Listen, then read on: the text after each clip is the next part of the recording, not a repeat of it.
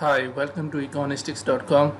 So, if you are looking to do a literacy review and you need to collect articles, but you, it's taking too much time to collect articles from Google Scholar, and and you need a lot of them for your PhD thesis or MS thesis, eh, or another on other side, if you need to do an SLR, for SLR you need to collect about 100 plus papers on a specific topic.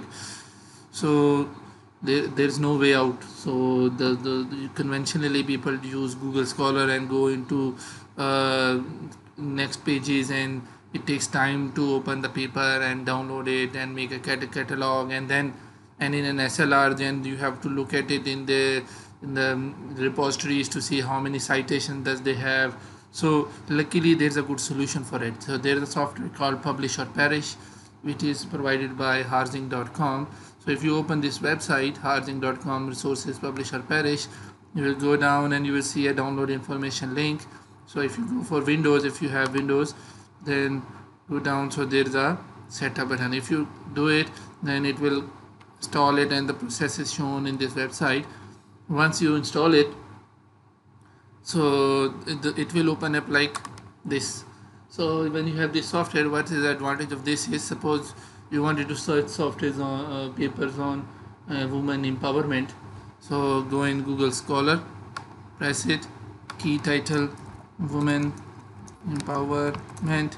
So what you can do is and and you need 0 to 0 means all possible papers no restriction on any journal no specific author no no no paper name or uh, so you can move move this from title to keyword. So if the keyword is there so if you start searching so it will take some time to find you thousand papers. So so if you wait for it so once it is completed you can see there are papers list made here. So it's arranged in terms of citations and then if you click double click anyone double click anyone it will be opened in google uh, in the in your internet explorer and then you can download it.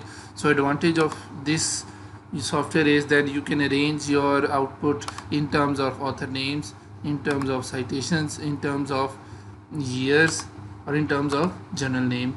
So, or in terms of if it is a book or an article. So this way you can categorize your articles and then manage your uh, references that you need to use. And it it saves a lot of time. So and and the- another advantage is if you don't if you don't think that your, your word is better you can uh, see the names used and you can improve the keyword and do the search again. This way hopefully you will be able to increase your quality of literature review and, and synthesis because you are getting more better papers especially the papers who are which are cited at a high rate.